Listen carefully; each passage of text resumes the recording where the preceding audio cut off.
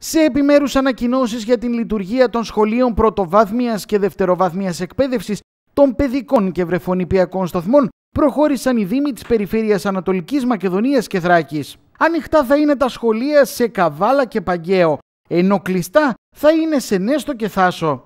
Κλειστά θα είναι τα σχολεία στην Ξάνθη και την Κομωτινή, ενώ ανοιχτά στην Αλεξανδρούπολη. Ο Δήμος Καβάλας ανακοίνωσε με απόφαση του Δημάρχου Καβάλας, Θόδωρου Μουριάδη, τα σχολεία πρωτοβάθμιας και δευτεροβάθμιας εκπαίδευσης του Δήμου Καβάλας, καθώς και η παιδική και βρεφονιπιακή σταθμή του νομικού προσώπου θα λειτουργήσουν κανονικά την Τετάρτη 17 Φεβρουαρίου του 2021. Την ίδια στιγμή το άνοιγμα των σχολείων του Δήμου Παγκαίου ανακοίνωσε και ο Δήμαρχος Φίλιππος Αναστασιάδης.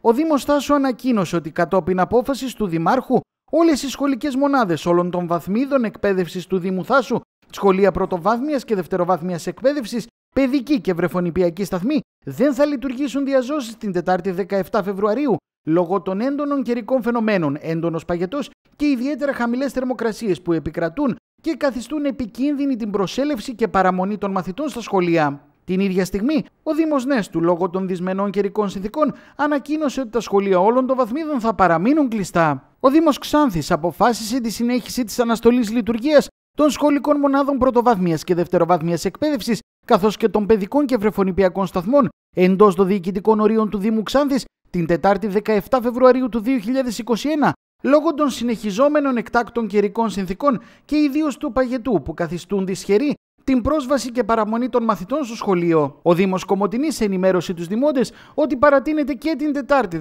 17 Φεβρουαρίου η διακοπή της διαζώσης λειτουργίας των σχολείων σε όλες τις σχολικές βαθμίδες του Δήμου εξαιτίας των χαμηλών θερμοκρασιών που επικρατούν και δεν επιτρέπουν τον εξαερισμό των σχολικών χώρων. Σύμφωνα με έγγραφο της Κεντρικής Ένωσης Δήμων Ελλάδος, τα μαθήματα θα πραγματοποιηθούν μέσω της διαδικασίας της τηλεεκπαίδευσης κατόπιν συνεννόησης με τις διευθύνσεις εκπαίδευσης.